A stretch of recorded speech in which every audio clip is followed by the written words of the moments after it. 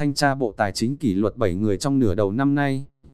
Tại hội nghị sơ kết thanh tra Bộ Tài chính vừa diễn ra, tránh thanh tra Bộ Tài chính Trần Văn Vượng đã quán triệt về việc tăng cường xử lý, ngăn chặn có hiệu quả tình trạng nhũng nhiễu, gây phiền hà cho người dân, doanh nghiệp trong giải quyết công việc.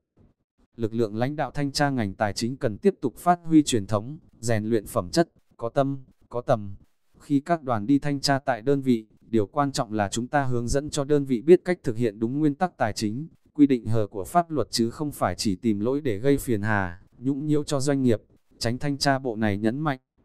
Tại hội nghị, ông Trần Huy trưởng phó tránh thanh tra Bộ Tài chính cho biết, 6 tháng đầu năm 2019, các cơ quan, tổ chức, đơn vị thuộc Bộ Tài chính tăng cường thanh tra, kiểm tra nội bộ đối với 660 đơn vị trong ngành tài chính.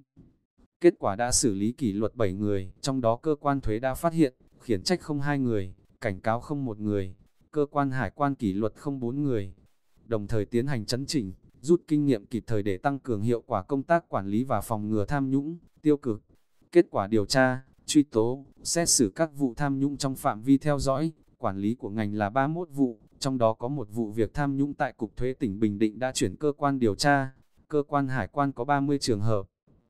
Trong 6 tháng đầu năm 2019, Thanh tra Bộ Tài chính và các đơn vị có chức năng thanh tra chuyên ngành thuộc Bộ đã thực hiện 25.173 cuộc thanh tra, kiểm tra, kiểm tra 138.364 hồ sơ khai thuế tại cơ quan thuế và điều tra chống buôn lậu bắt giữ 6.574 vụ. Trong đó, Thanh tra Bộ đã chủ động triển khai 12 cuộc thanh tra, kiểm tra theo kế hoạch, đạt 30,77% so với 39 cuộc thanh tra, kiểm tra theo kế hoạch năm 2019, tỷ lệ bằng 54,5% so với cùng kỳ năm 2018. Nội dung thanh tra, kiểm tra công tác quản lý, điều hành ngân sách địa phương, quản lý vốn đầu tư xây dựng cơ bản, quản lý tài chính tại đơn vị sự nghiệp, doanh nghiệp, thanh tra hành chính nội ngành. Nội dung thanh tra, kiểm tra được lồng ghép một cách khoa học, góp phần rút ngắn được thời gian thanh tra, kiểm tra. Qua công tác thanh tra, thanh tra bộ đã có nhiều kiến nghị chấn chỉnh công tác quản lý tài chính ngân sách, tài sản nhà nước và kiến nghị với các cấp có thẩm quyền xây dựng, sửa đổi, bổ sung nhiều cơ chế chính sách liên quan đến công tác quản lý, điều hành tài chính ngân sách và cơ chế chính sách đặc thù của các ngành, lĩnh vực.